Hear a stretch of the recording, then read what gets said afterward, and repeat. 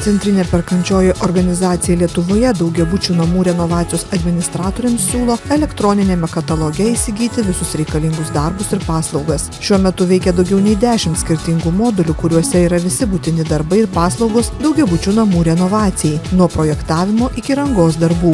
Į katalogą paslaugų tiekėjai patenka tik po griežtos atrankos. Reikalavimus e, tiekėjams galima skirstyti dvi dalis. Tai yra pašalinimo pagrindų nebuvimo patikrinimas ir kvalifikaciniai reikalavimai pašalinimo pagrindų nebuvimo patikrinimas tai yra ar įmonė nėra bankrutuojanti likviduojama neturi teistumo neturi pažeidimų konkurencijos srityje kvalifikaciniai reikalavimai tai teisė verstis veikla tai yra rangovas turi turėti teisę verstis veikla atitinkančią perkamą objektą.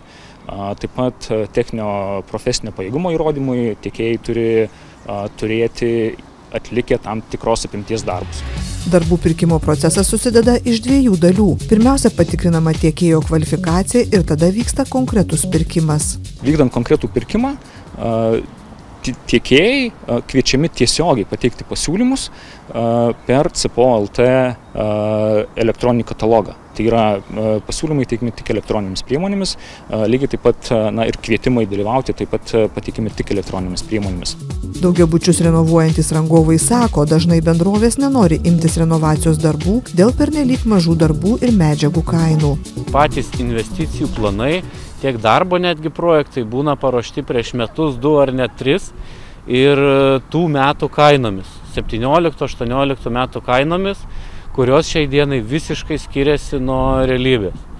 Šiuo metu kainos e, stipriai išaugė, tiek apšiltinimo medžiagų, tiek plėtelių, tiek e, visų kitų priemonių, kurios reikalingos e, namo renovacijai turėtų būt e, paprastesnis investicinio plano koregavimas kainos atžvilgiu. Kadangi investiciniai planai padaryti daug seniau, tai dabar reikalingos kainos visiškai skiriasi. Atnaujinus investicijų planą gautume ir geresnius pasiūlymus, ir kokybiškesnius darbus.